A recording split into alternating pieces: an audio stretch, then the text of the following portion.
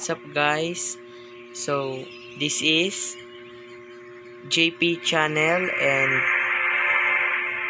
to, for today's video is attacking a rush base. So, my name here in COC is King Philip and ang aking aatakihin ay si Taki Taki 4468.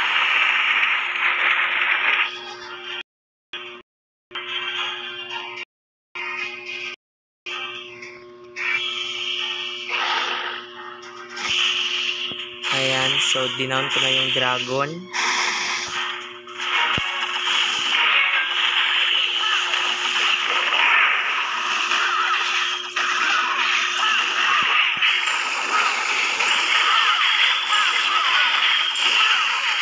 So, kaunti lang yung available loot.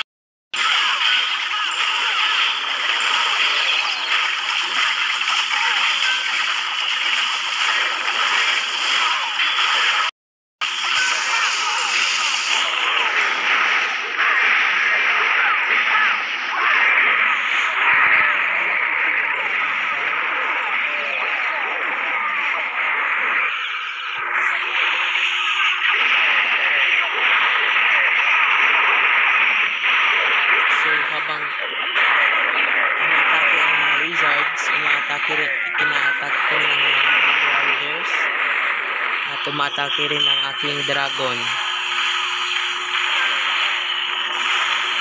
So, gumamit ako ng heal spell.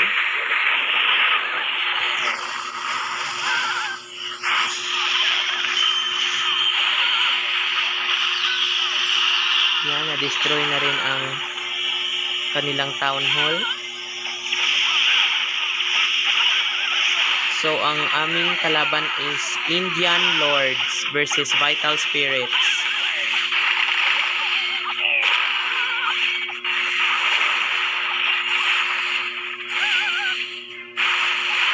So, 12 seconds na lang ang natitira. 10, 9,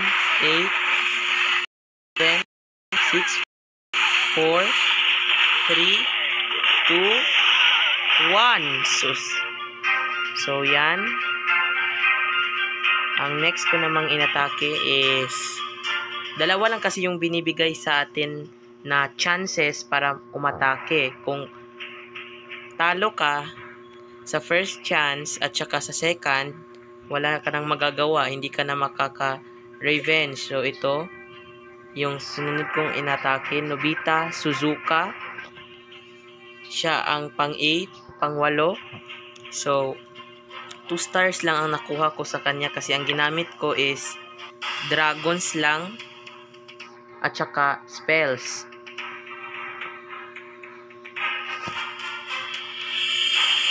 So, ito yung town.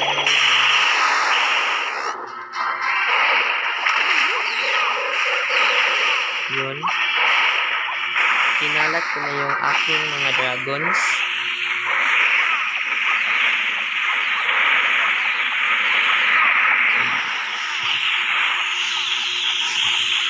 Siya guys.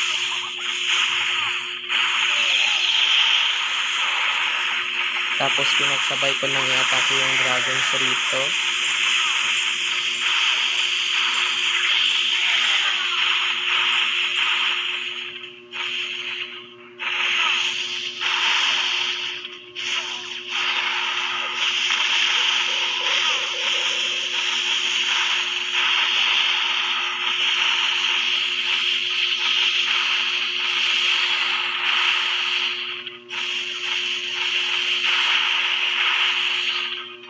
So, nagkamali pala ako kasi yung inatake ko is napakakaunti lang pala ng kanyang gold elixir at saka dark elixir niya. So, wala na tayong magagawa kasi tapos na yun. Wala na rin tayong iba pang chances kasi naubos ko na. Kaya, yun. Babawi na lang tayo next time. Ang magkahalaga, naka-stars tayo.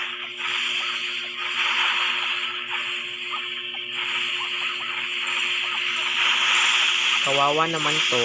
Ang daming umaatake.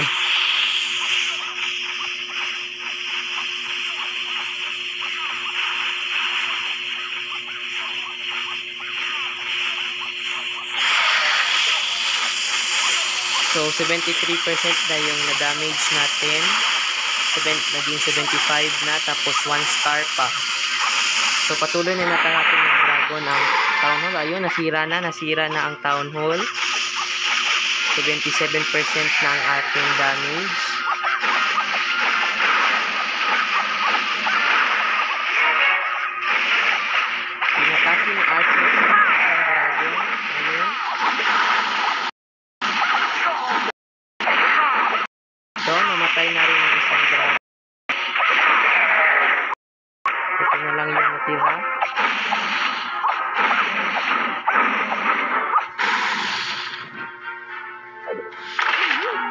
Ayun, namatay rin. So, 86% lang ang na-dis loot na nakuha is 59,000 elixir at 230 dark elixir. So, ayan. So, ako pa lang yung nakapag-star at ako pa lang yung naka-atake sa aming team at sa kalaban naman, ayan, wala pa silang stars, zero stars. So, sa Vital Spirits is lima pa. Ito pala yung leader nila. Ayan, ito yung base niya. Level 13 yung Archer Tower.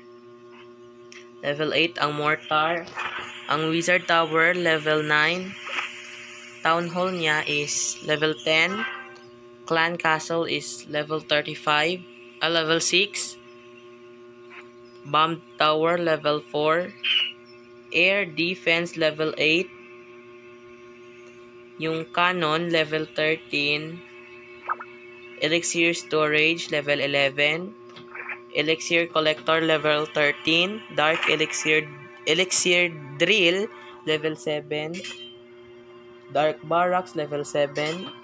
Laboratory, level 8. Double Cannon, level 13. Dark Elixir Storage is level 6.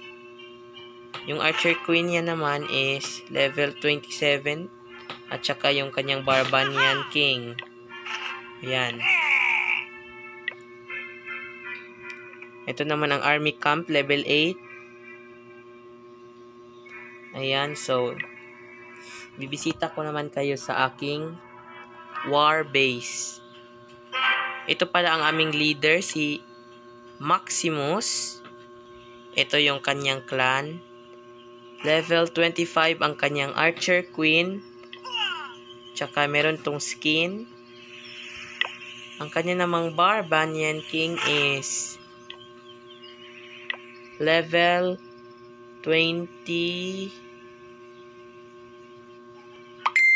22.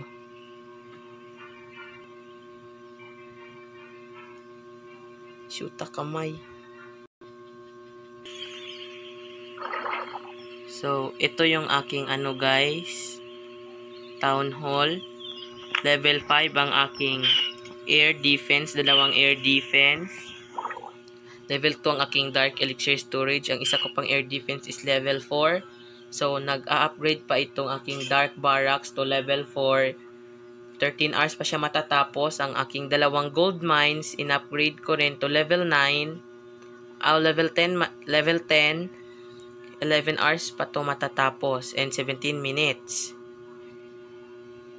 So, ina-upgrade ko rin itong aking gold storage to level 10 para magkatulad na sila nito, level 10. Ang aking wall is level 7, yung iba, level 8 na. So, kaunti lang ang aking gold kaysa sa aking elixir. Ang aking dark elixir naman is 16,557 pa at ang aking gems ay 100 1,070 So, ito, may apat akong builder. Ito naman ang aking war base. Pareho lang ang kanilang arrangement. Ayan.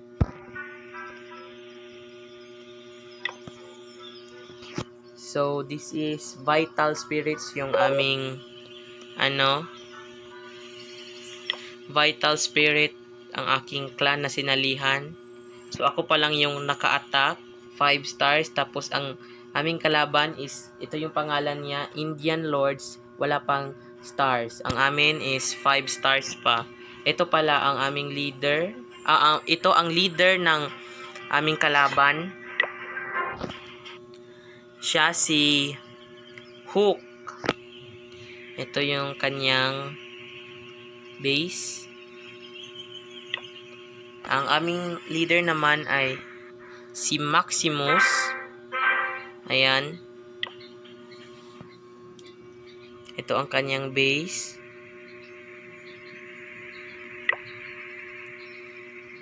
So, punta naman tayo sa aking builder hall. Ayan, so medyo kaunti pa ang aking mga loots. Ang aking builder hall is level 6. Ang aking multi-mortar is level 4. Ang aking gem mine is level 4 rin. Aking dalawang double cannon is level 4. Ang aking dalawang cannon is level 4 rin. Pati na ang Tesla.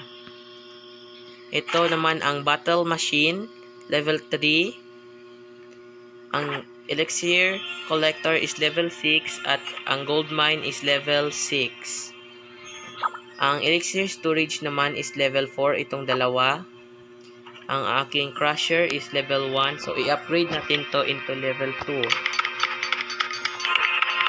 Ayan. So, ang aking gem is 1,070.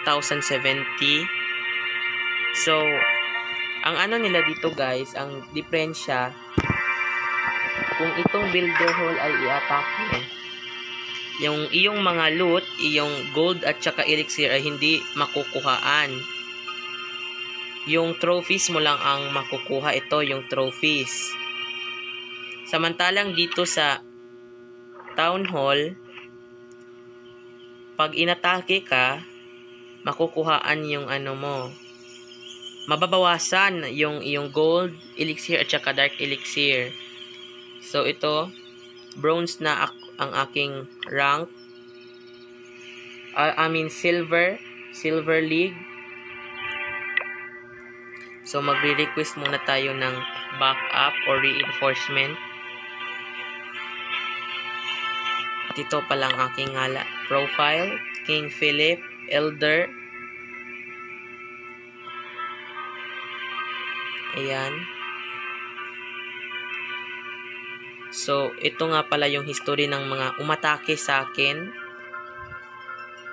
So, 22 trophies ang na-add sa akin kasi hindi siya nakakuha miskin isa, isang stars. Ito, 100% na-destroy niya lahat ito yung nakuha niya sa akin. 65 gold, 311 311,873 elixir and 997 dark elixir. Ayan. Ayan, so, thanks for watching guys and subscribe for more videos.